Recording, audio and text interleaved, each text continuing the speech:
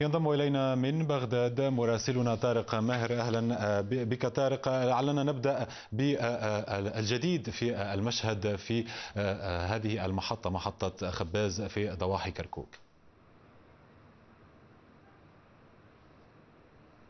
نعم سفيان تمكن مسلحو تنظيم الدولة من الدخول أو من اقتحام منشأة الخباز النفطية. أكبر آبار النفط أو حقول النفط في كركوك عموما بعد اشتباكات عنيفة دامت لمدة ساعتين بعد منتصف الليلة الماضية. وقد تمكن مسلحو التنظيم من احتجاز أكثر من 15 من موظفي هذا الحقل النفطي الذين كانوا يؤدون أعمالهم خلال المناوبة الليلية آخر الأخبار التي صدرت من وزارة البيشمركة تفيد بأن قوات من البيشمركة تمكنت من الوصول إلى البوابة الشمالية والجنوبية من هذا الحقل النفطي أو هذه المنشأة النفطية الكبيرة وهم يحاصرون الآن مسلحي التنظيم الذين فخخوا أغلب المباني والطرق الرئيسة داخل هذا هذه المنشأة النفطية. ولا يزال مصير الموظفين الذين احتجزهم التنظيم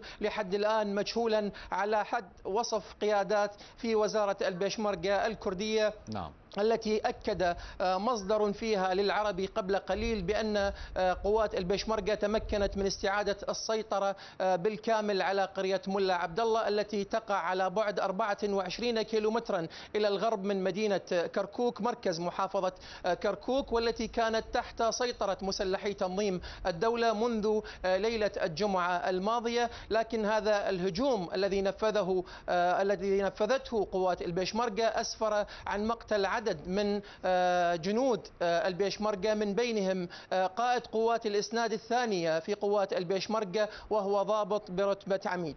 نعم طارق أنتقل بك ربما إلى العاصمة بغداد حيث كانت هناك تفجيرات، ما هي المواقع ربما التي تم استهدافها؟ وهل من حصيلة رسمية للضحايا؟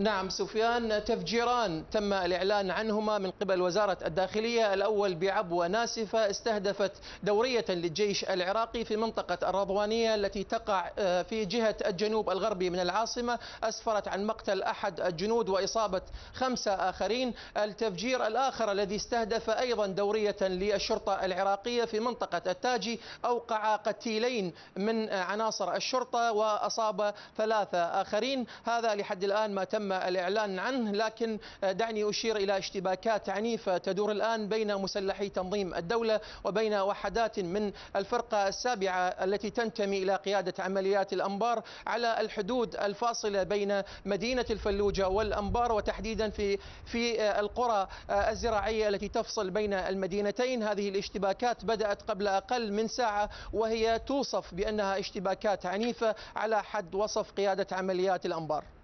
نعم طارق سريعا ماذا عن الأحداث في الفلوجة؟ يبدو أن هناك أيضا قصف من قبل الجيش العراقي وكان هناك ضحايا في صفوف المدنيين. هل تأكدت من هذا الخبر؟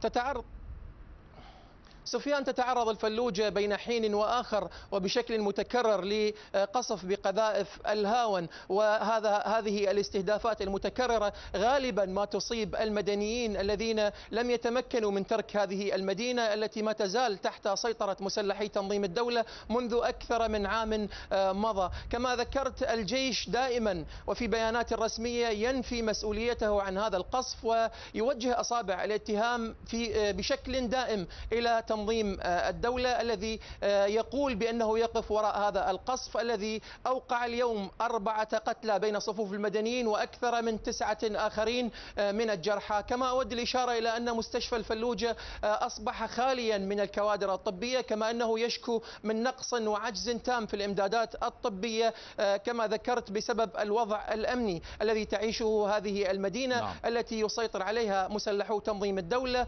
فيما تطوق وحدات من الجيش العراقي هذه المدينة من جهاتها الأربع وهو حصار خانق يمنع المدنيين من الخروج بسبب الاشتباكات اليومية على حد وصف وزارة الدفاع مع مسلحي تنظيم الدولة. طارق ماهر من بغداد شكرا جزيلا لك.